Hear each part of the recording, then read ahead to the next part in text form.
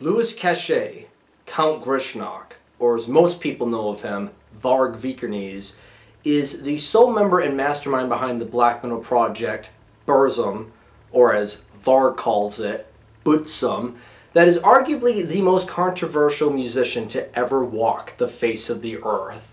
And if you're wondering what kind of legacy he's left behind, let's find out. In the very beginning, prior to Burzum, Varg was only 15 years old when he started his first project called Uruk-hai. What's interesting about this is not only is it Varg's first project, but you're noticing already at the age of only 15 years old and as it was recorded in the late 80s, Varg already had a fascination with ambience as there are ambient tracks just straight up played out on the Uruk-hai uh, material, along with some other tracks that have guitars being played. And again, it's only guitar riffs. There's no drums and there's no vocals. Showcasing that what Uruk-hai is for a lot of people that know of it is it's the prototype for what Burzum was going to become. A few years later in 1990, Varg would find himself integrating more into the extreme metal scene of Norway as he was actually part of a death metal band called Old Funeral, which crazy enough actually had Abbath from Immortal or before he started Immortal in this band as he played the bass and did vocals. And while Varg did the guitars, I think, for like a year or two from 1990 to 91, they never recorded music together.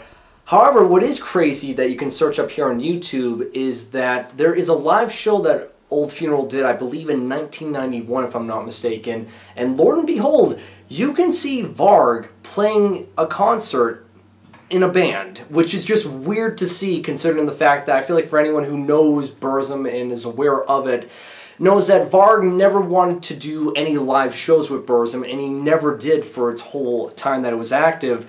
So again, to see Varg play guitar live in a band, it's just something I thought I'd never come across. Shortly after that, in 1991, Varg leaves Old Funeral and starts his own project that of course we all know as Burzum.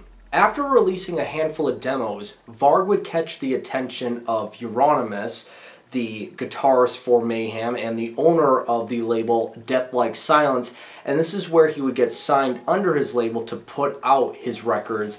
And in 1992, he would release the debut full-length album, which is the self-titled Burzum. What I find really interesting about Burzum, besides the music, which I'll be talking about in a little bit, is the overall aesthetic of this project. You see, Varg was always looked as the outsider and black sheep of the Norwegian black metal scene. While everyone else was focused on Bathory and Venom, Satanism, and all of this evil stuff to make black metal come off more intimidating and give it its own flair, Varg always had more of an interest with a lot of his own personal stuff. For example, the band name Burzum comes from the black speech of the Tolkien universe that translates to darkness along with the album artwork and lyrical themes that not only were based off of the Tolkien universe, but a lot of the fantasy RPG board games that he was playing. That a lot of the music you're hearing is more of like Varg's own interpretation of these fantasy worlds that he had a fascination with. As for the music that you can hear on the debut full-length album, What's always funny that uh, I come across when I was reading a lot of Burzum interviews, or Varg interviews, I should say, is that Varg has never considered Burzum at any point to be a black metal project. He's always considered it to be a heavy metal project, and that's it. Which is just funny because all of these years later, everyone looks at it as a black metal album.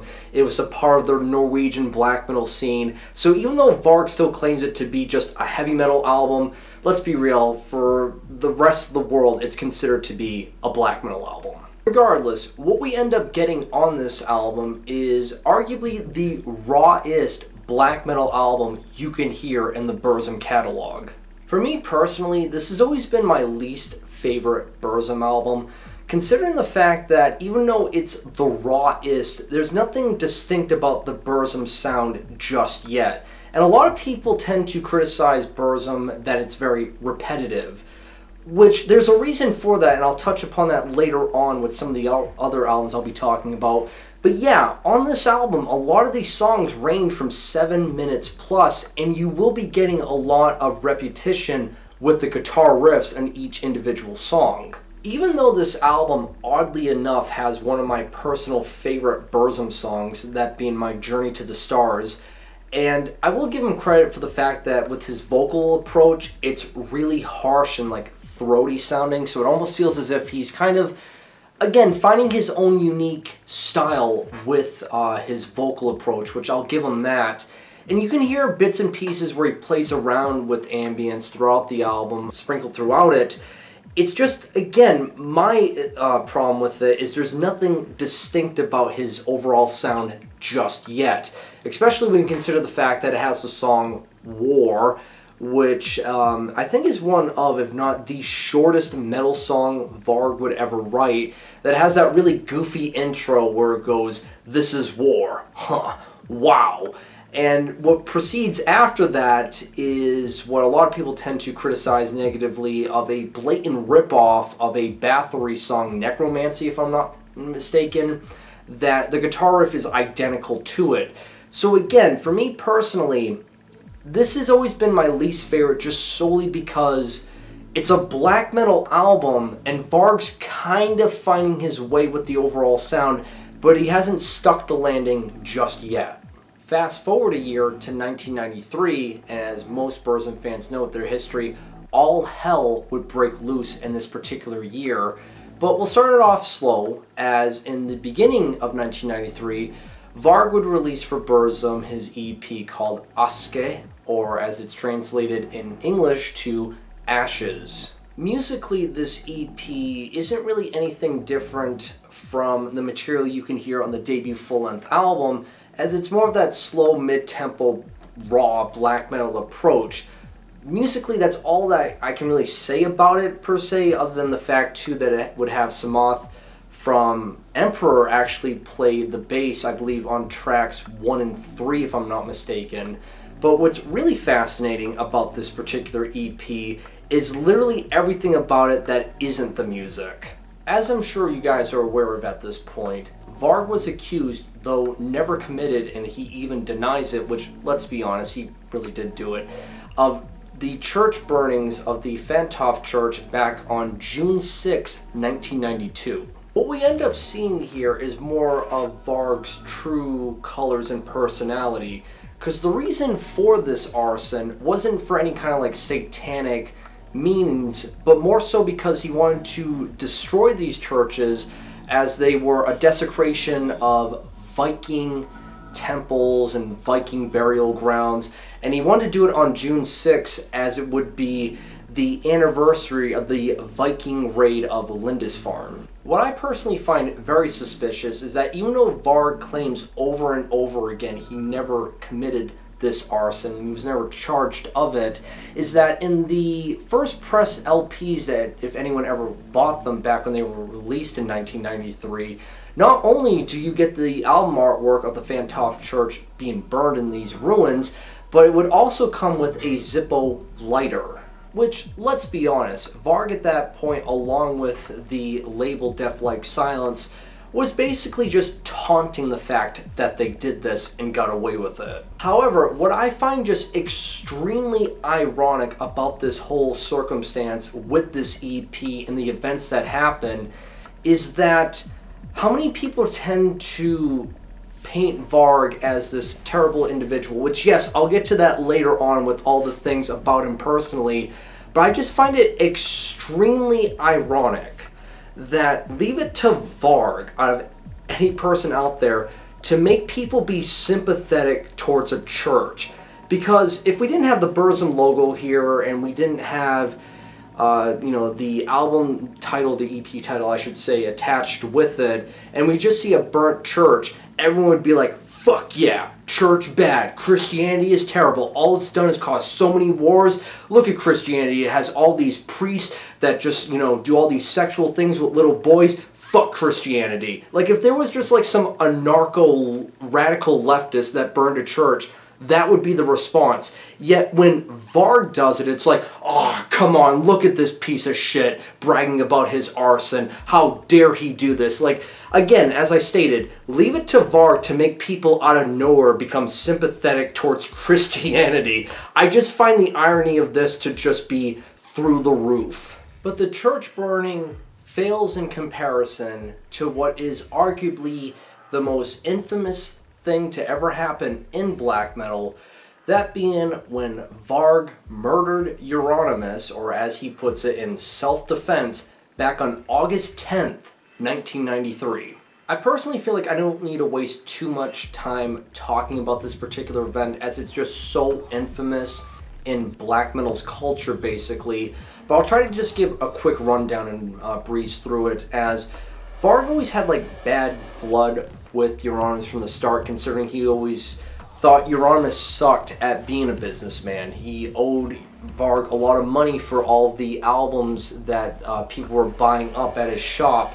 So there was bad blood to begin with already, but what really set it off is that when Varg overheard a conversation with Snorre, who is in Thorns, have a phone conversation with Euronymous, and I believe he was on a third line over here in the conversation, and he heard that Euronymous wanted to torture Varg, hit him with a stun gun, if I'm not mistaken, tie him up, torture him, throw him in the back of the trunk of his car, and basically murder him in this snuff film as would be this next evolutionary extreme for black metal. So with Varg overhearing this, he then set out on August 10th with Snorre from Thorns to go to Oslo and arrive at Euronymous' apartment, I believe at 3 in the morning. And he would want to get rid of and essentially kill Euronymous in this self-defense uh, predicament, as Varg puts it, because, um, again, he always viewed Euronymous as a threat. But when you arrive at someone's apartment at 3 in the morning and they answer the door and they see a man with a knife come at them and then run away and then you proceed to stab that man 23 goddamn times it's like when you view it on court paper it doesn't look so much like self-defense as it just looks like vicious cold-blooded murder as for my two cents, not like it really matters because if you want to disagree with me on this, go right ahead. But a lot of people tend to state that Varg is this murderer and that he's a convicted convict and he's terrible, and he is for doing so. I know in his mind he still views it as self-defense, and so many people tend to bring this up when talking about how much of a terrible person he is. Now, with my two cents, I know I'm going to come off like I'm this big fanboy for him, which trust me, there's a lot I disagree with him, which I'll bring up later on in this video. But are we really going to pretend like Euronymous is this patron saint? Again, this is the same guy that was starting to piss off a lot of people, especially the people in his band, such as Necro Butcher, which I know Necro Butcher a few years ago talked about how he wanted Euronymous dead. But Euronymous is the same person that told his vocalist for his band Mayhem back in 1991, Dead, hey, uh, you should kill yourself, and that would be really black metal, and convince Dead to do so. And when Dead committed suicide, what did Euronymous do? Well, he just took a knife, the shotgun, put it right next to Dead's body, and took a picture of it, and used that picture for a bootleg of Dawn of the Black Hearts, the live album, to sell more records for black metal because he figured as if that was the next extreme for the genre. Again, Euronymous is not this innocent, you know, patron saint. He was a scumbag too, and let's be honest here, for a lot of people in the Norwegian black metal scene for the time, a lot of people saw that coming. Now, as if being a murderer wasn't crazy enough that, again, Varg always claims was in self-defense, it only gets crazier from here because on August 19th, nine days after the murder of Euronymous, Varg was arrested and the police went through his apartment and found explosives and 3,000 rounds of ammunition. The reason why he had such weaponry is kind of clouded in mystery, mainly because what a lot of people think it alludes to and what Varg claimed it was for in a 2009 interview have very different answers. But again, this is Varg, who tends to kind of stretch the truth a little bit and is often criticized for kind of not being always truthful in interviews, so take it with a grain of salt. So the reasons as to why a lot of people assume Varg would have such weaponry is he was planning on committing a terrorist attack and a bombing on this anarcho-punk venue called the Blitz House. And the reason for this, as people tend to assume, is that Varg thought the communists in that venue wouldn't be too fond of the idea of him murdering Euronymous and I think the only reason as to why people thought he thought this was because Euronymous always proclaimed that he was a Stalinist.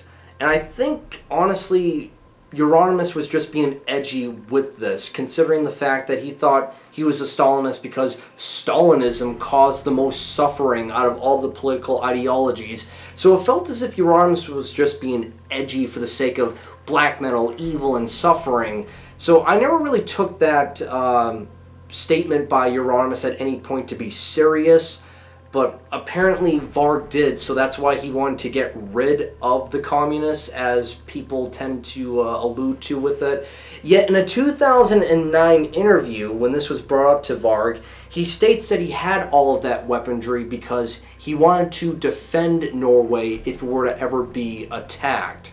But that still doesn't answer the fact of if he was planning on committing a terrorist attack. So it's just like, you know, whenever you think, man, Varg's done such heinous and crazy things, like, you know, the church burnings, which I know he always denies it, but let's be honest, he, he did do that, and murdering someone, you find out, hey, he was planning on doing a terrorist attack, because this man just can't be crazy fucking enough somehow. Yet, with all the church burnings, murders, and crazy events that were happening in Norway, what I've noticed, and this is really insane, is all the discussions about these events a lot of people tend to view it as this was a good thing for black metal and essentially made Varg become the face and head helm of the Norwegian black metal scene. Because what was really interesting that was brought up in the uh, Burzum retrospect done by Downfall Network, and I'm pretty sure it was Brody doing the narration for it. He brings up the fact that, yeah, as sadistic as this sounds, Varg murdering Euronymous was actually a good thing for black metal because it gave so much media attention on this niche little thing in Norway that it propelled it into the stratosphere, making it seem as if now black metal is more widely known among the metal world all over. So again, as sadistic as it is, Varg murdering Euronymous actually benefited black metal as a whole. With all these crazy events happening, believe it or not, Varg was still active essentially with Burzum, and in the same month, I believe it was August 20th, he would release the sophomore full-length album for Burzum, that being Dødsdom Ingen Var. This would be the first and only record Varg would self-release under his own label, that being Cymophane Records. Hate to show my bias here, but I always had to admit this has always been my personal favorite Burzum album, mainly because this is Varg truly fleshing out Burzum's sound to something truly unique. While yes, it still has that raw black metal approach that we would know Burzum for, What's interesting about it musically now is I truly feel like this is Varg's best approach on the guitars as it feels a lot more progressive sounding, it feels a bit more eventful. That even though these songs are roughly around the same length as what you would hear on the debut full-length album that range around like 5, 7, and even 9 minutes long, again, they have more of this progressive um, writing style to it, which always felt like as if you're getting to like such a journey to get to the end piece, as it feels more eventful and climactic. What's also interesting about this album is all the instrumental tracks that are just straight up ambient music, or as some people proclaim it to be dungeon synth, as that's typically a more synthier take on dark ambient music. But what's interesting about these particular uh, ambient tracks is it showcases now Varg's fleshing out Burzum more. He wants to bring ambience almost to the point now where it's almost 50-50 with the black metal take. And what's important to bring this up is yes, while it is repetitive and simplistic, Varg's looking for that minimalistic approach to give off more of these simplistic compositions that's easier to follow along with. Really making it as if ambience and atmosphere is truly the thing that's going to engulf you in this fantasy-like world that again he's always had such a fascination with and having his own again take on the subject matter. Several months later, Burzum would release the third full-length album, Hvis lyset tar oss, which translates to English to Until the Light Takes Us. Around this time, Varg was dealing with all of the trials of the murder that he committed, and yet he was still able to release music mainly because I believe around it was like 93 a year before he had a lot of music that he finished but he had no one that would actually put it out. So it was being released at a steady pace of all the stuff he finished a year prior. Hence why he was able to release Hvis lyset tar oss around the same time he was doing a trial now this album tends to be what's widely received as one of Burzum's best albums, and I believe too in an interview, Varg stated that he thought this was his best work he ever did. Personally, I think what makes this album so good is this is the real first album that we're hearing ambience and black metal not being played so much in an album separate apart, but actually cohesively side by side here. Thus, everything tends to be more melodic, and again, while it is simplistic and repetitive, really builds more of the ambience and atmosphere that truly makes Burzum um, really important figure in all of black metal and it's extremely influential. As I stated earlier in this video, a lot of people tend to criticize Burzum for being boring, repetitive, and mundane on how the guitarists are played, which, fair point, yes, we all have our taste, but it does make sense as, yes, when you listen to a Burzum song, the guitar riffs will be repetitive, but that's kind of the point. point, and I know I'm, like, again, coming off like a fanboy here, but what Varg was doing was different from everyone else. Again, I still believe he was kind of like the outsider among the black metal scene of Norway of his time, because while everyone else was looking for influence from Venom and Bathory and all the proto first wave black metal bands a decade previous in the 80s, Varg was looking at inspiration from a lot of the electronic music scene as he really had a fascination with it, most particularly The Cure's Disintegration and Dead Can Dance's Within the Realm of a Dying Sun. If you listen to these albums, or at least you're aware of them, then you know that both The Cure and Dead Can Dance use a lot of electronic elements in a very simplistic way to build upon the composition with ambience and atmosphere that, yeah, it is simplistic, but it engulfs the listener, and that's what Varg was trying to do with his approach onto black metal with Burzum. So yeah, you can say Burzum is repetitive, it's boring, it's just all the same thing all the time, but you're kind of missing the point here. It's all about building simplistic compositions with ambience and atmosphere and engulfing the listener. Hence why I feel like it's become this kind of like entry gateway type of a band for a lot of people trying to get into black metal. Because while everyone else in the black metal scene was trying to be more aggressive, angrier, meaner, and eviler, and just so be on the cutting edge of aggression, Varg showcased to everyone that there's a lot more to the dynamics of black metal than just that, and really expanded its sound to a whole new region, I feel like. And for a lot of people, he would stick the landing with this approach two years later in 1996 when he would release the fourth full-length album for Burzum, Filosofem. Backtracking a bit, Varg was sentenced to prison, I believe, in 1994, again for the conviction of murder of Euronymous, I believe, for what, 21 years, but he got out, I think, in like 2009 or something, which I'm getting a little too ahead of myself here. But somehow, while being in prison, and this album uh, being released in 1996 and he went to prison in 94, he was able to release this album mainly because from what I read, he got everything recorded for Filosofem back in March of 1993 and it was just kind of like shelved for a while, but finally it was released in 96, again while he was in prison. Regardless, what we got with Filosofem is arguably the fan favorite and tends to be a very popular black metal album all of these decades later that I would say arguably from what it seems by the black metal fans the gateway album to get into black metal. As I'm sure everyone who's watching this has listened to this album at least once or you've seen the album artwork, but yeah, for a lot of people, this is his best work as he perfectly blended the elements of black metal and ambience side by side, especially through the first half of the album, as the riffs tend to be a lot more atmospheric, the ambience tends to be really easy to follow. His vocals have a lot more of this reverb effect to it, thus making it a little bit easier on the ears to uh, digest everything. And what you get is one of the best atmospheric black metal albums really ever made. But the standout track that everyone points to is the 25 minute long mammoth of a song that is Norwegian, so I can't pronounce the actual title properly, but it translates to Circumventing the Support of the Transcendental Singularity, which, yes, I had to look at my computer to make sure I said all of that because it's a mouthful of a title.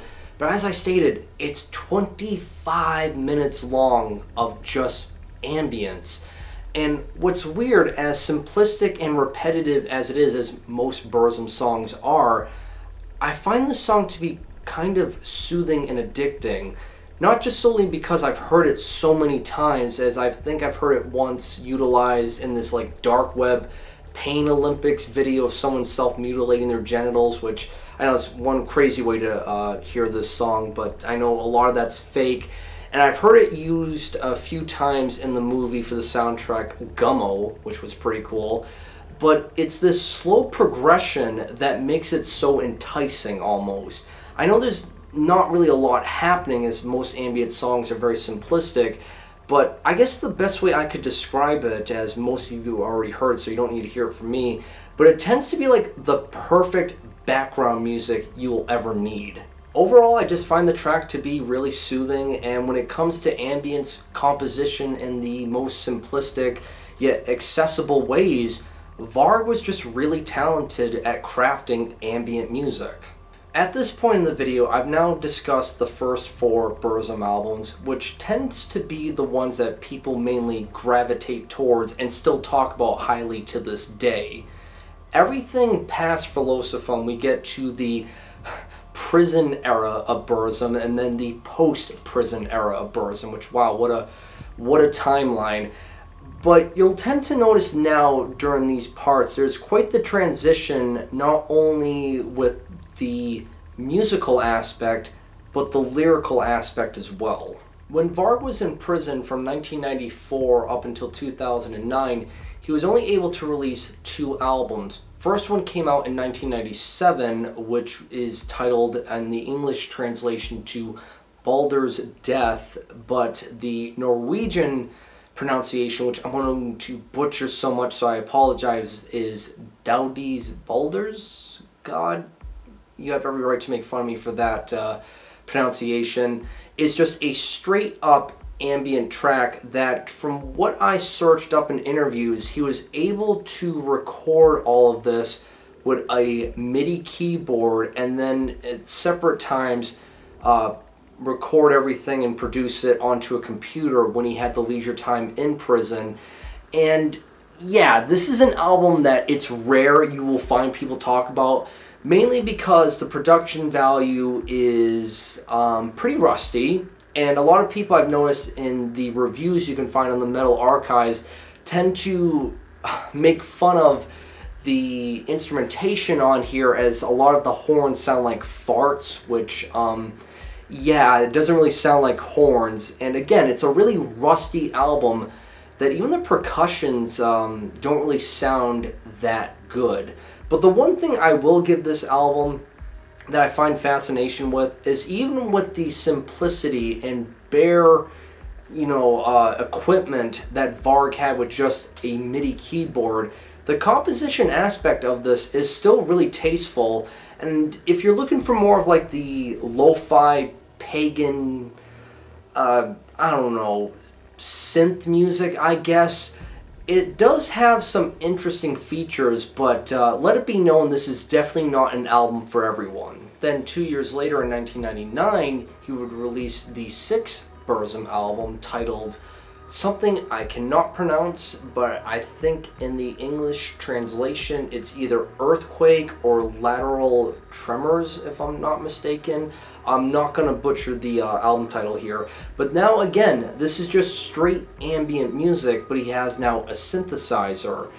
And um, it's not really that eventful, other than the fact if you appreciate all of the ambient tracks you will find scattered through the previous Burzum albums, maybe you will find appreciation with this. But again, it's another album that's often ignored because it doesn't really feel that eventful. If you're looking for the black metal approach in the Burzum catalog, everything that Varg was able to release while he was in prison from 97 and 1999, you're not going to get that, which is why I do feel like it's so ignored by his fans. But yeah, it's just an ambient album, and that's all I can really say about it. After the release of the sixth full-length album, Varg would remain silent with Burzum for 11 years, which is kind of obvious considering the fact that he's in prison and it's already difficult enough to release music. But what is interesting that you can find is all these interviews of uh, people interviewing Varg when he was in prison for that time. And while a lot of these interviews aren't really asking anything that interesting other than what does it feel like to kill someone? What are you doing in prison? How is prison? It's just like the same questions over and over again from each one I read. What is interesting though is how Varg kind of answers all of these questions, that he was finding comfort in prison, almost like it was a monarch for him, that he was finding peace in the solitude. And personally, what I think ended up happening with his experience in prison is it kind of you know, hardened his overall beliefs, eh, both politically and religiously. Because when you compare all the black metal albums of Burzum from the 20th century, that has to do more of like these fantasy-like themes that Varg was finding fascination with, and all the black metal albums of Burzum in the 21st century, you're noticing now that uh, the political beliefs of Varg and the religious beliefs of Varg start coming through, and there's a noticeable difference. So now we're in the 21st century. It's 2009 and Varg gets released from prison. It would only be a year later that he would pick up the pieces and continue on with Burzum, because in 2010 he released the seventh full-length album, Belus. While this would be the first Burzum album in 11 years, for the fans, this would be the first real black metal Burzum album in the past 14 years. Stylistically, it has all of the tropes and components you would assume would happen in black metal with tremolo pick guitars, a lot of blast beats. It's very fast paced, and Varg's vocal approach again still has that raspy, wretched scream that uh, is pretty distinct for his overall writing approach and execution. And I would say musically, if you just want another black metal album that's performed very solidly, yeah, Belus is a great continuation for the black metal styles of Burzum that we know. A year later in 2011, we would get the eighth full-length album for Burzum, that being Fallen. What I consider to be the best post-prison Burzum album, which is one hell of a way to hype up an album. But here now we're noticing that there's a lot more melody, Varg's singing, and there's a lot more harmonizing effects with this album that for me personally, I've always found this to be more memorable that I would say that it's a bit underappreciated for the people who just admire the musical work of Burzum. I think this holds up just as good in terms of quality as the classic era of Burzum that we all talk about endlessly. And a year after, in 2012, Varg would release the last black metal album in the Burzum catalog, that being Umskiptar, which has all of the components that you're familiar with when you compare it to Fallen as its aggressive and vicious of the black metal approach, but it has more interlude tracks with the clean singing and folk instrumentation.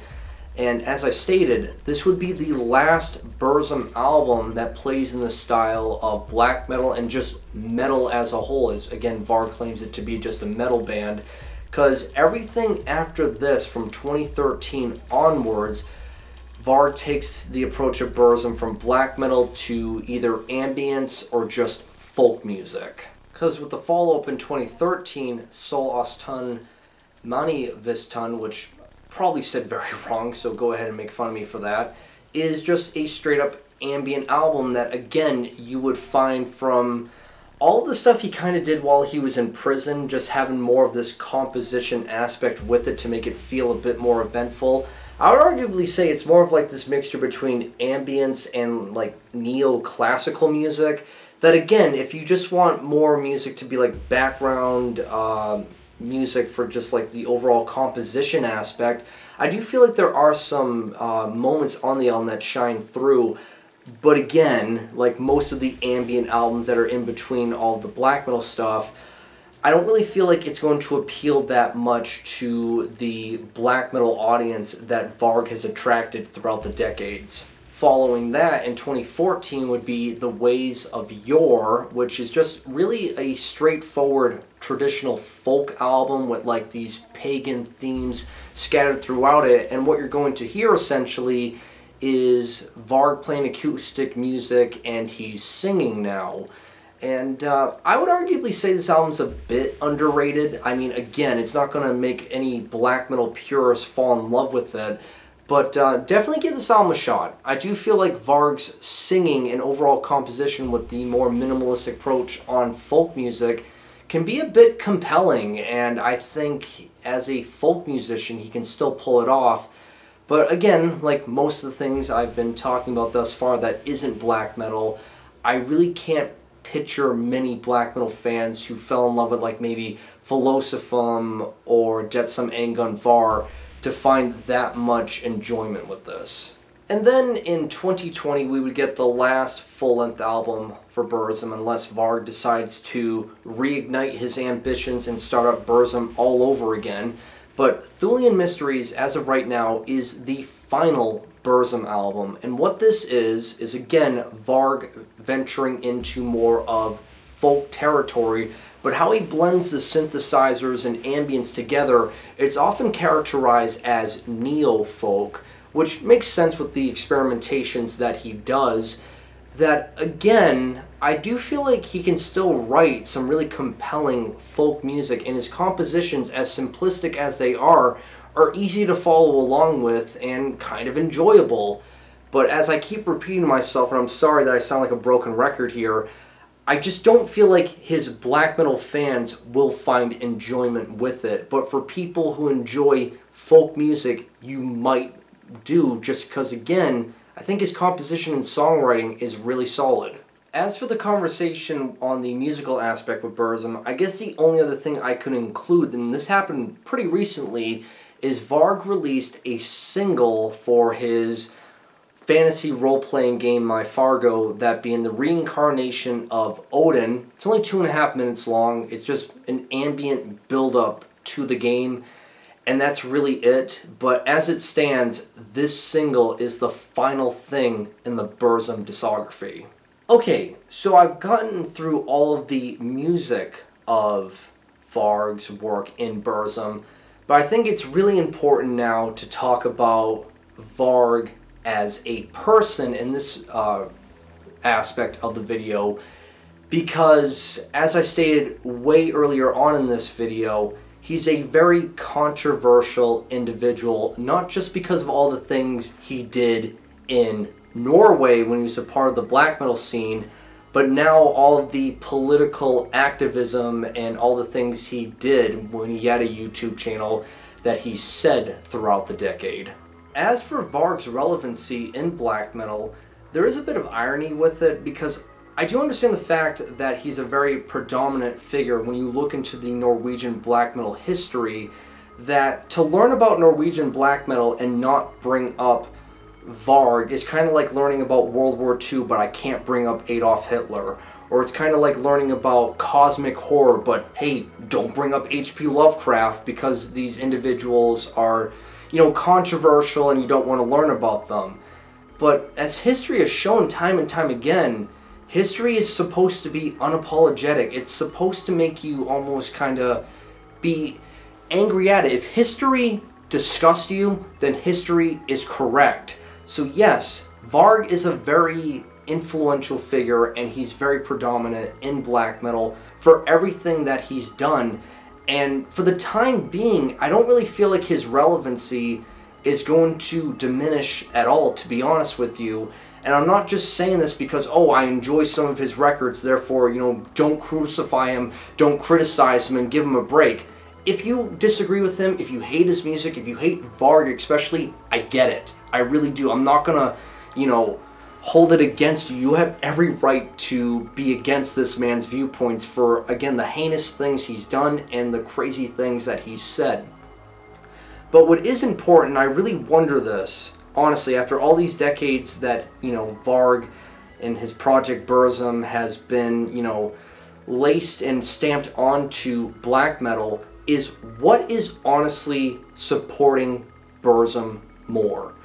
Is it the people who like Burzum or the people who hate Burzum? Seriously, ask yourself this. Because I know at first glance you might think, uh, obviously the people who like him because they buy his music.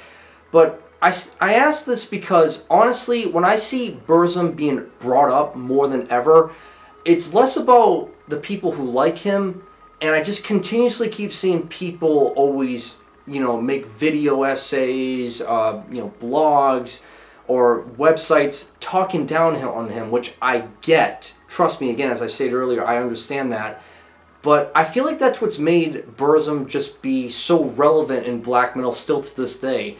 Again, Varg stopped making black metal back in 2013, a decade ago. Varg has stated numerous times in interviews he has no interest with black metal. Hell, he hates black metal. He's even stated once before if he had the uh, option to either go back to prison or hang out with metal fans, he would go immediately back to prison. And as of recently, as I stated, he's thrown in the towel with making music for Burzum as a whole. He hasn't made black metal since 2013.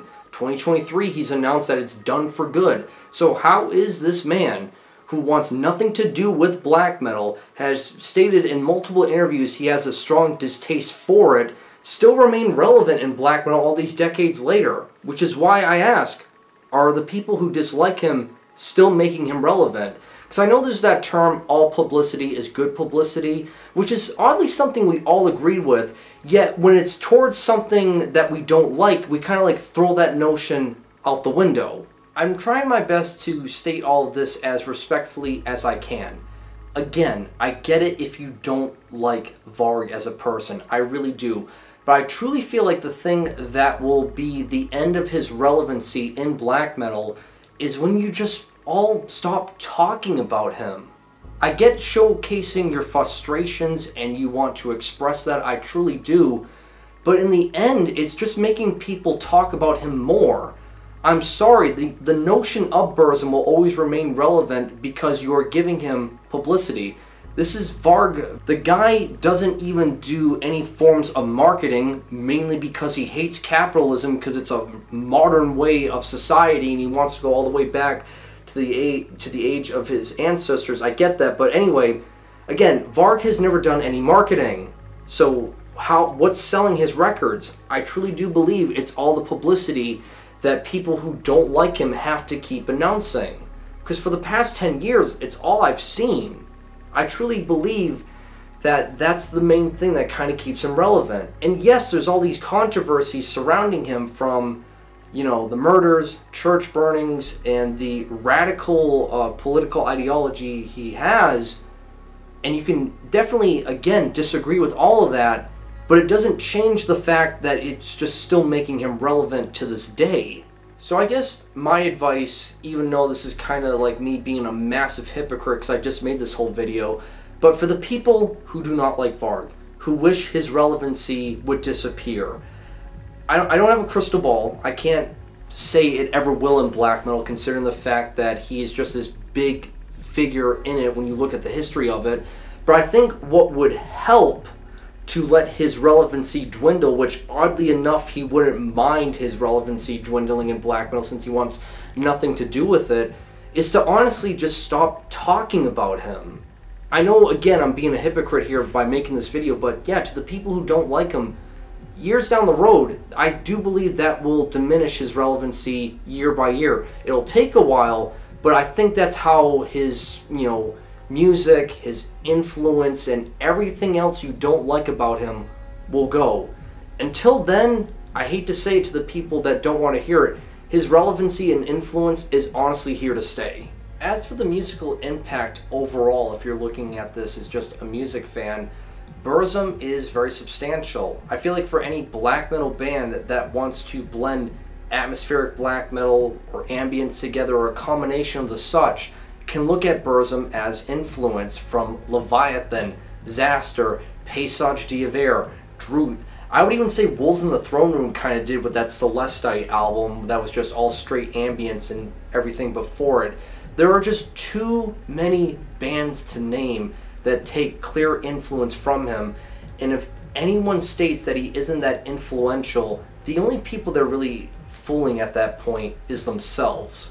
Regardless of what you think of Varg and Burzum, whether you enjoy the music, you hate the music, you find somewhat of agreements with Varg, or you disagree with everything this man has said, there's no denying that he piques the interest of countless people out there. And to me, I guess, as to why I think people find interest with him is he's just this abnormality of a human being in society, I feel like. And no matter what, I feel like he'll always have people talking about him, whether he sticks around for a couple more decades or when he passes on. He'll always be talked about to a certain extent, and he's made his mark in this world, even if it is in the most crazy and controversial ways that I don't know what he's able to do correct, regardless of what you think of him, is getting people to talk about him. And that'll do it for this video, guys. Hopefully you enjoyed it. I know this is a really touchy subject, but I tried my best to do this in a respectable way. And uh, yeah, that's all I gotta say. So like always, guys, make sure you guys drink plenty of water to stay hydrated, and have a great day.